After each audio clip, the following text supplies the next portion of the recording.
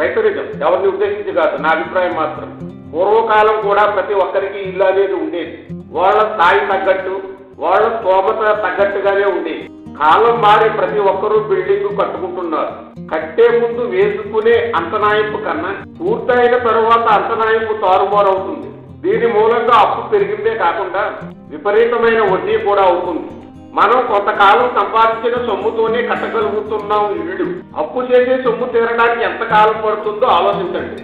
స్తోమత లేకుండా అప్పు చేయడం కూడా చాలా ప్రమాదం. ఈ కాలంలో ఇంత ఖర్చు పెరిగిపోవడానికి గల కారణం ఎలక్ట్రికల్ వస్తువులు రెడీమేడ్ వస్తువుల మూలంగానే విపరీతమైన ఖర్చు అయిపోతుంది. అప్పు చేయకుండా అమర్చుకున్న వస్తువు ఏదైనా మనిషికి ధైర్యాన్ని ఇస్తారు. అప్పు చేసిన వస్తువు మనిషిని మానసికంగా కుంగదిస్తారు ఇది సత్యం గ్రహించండి.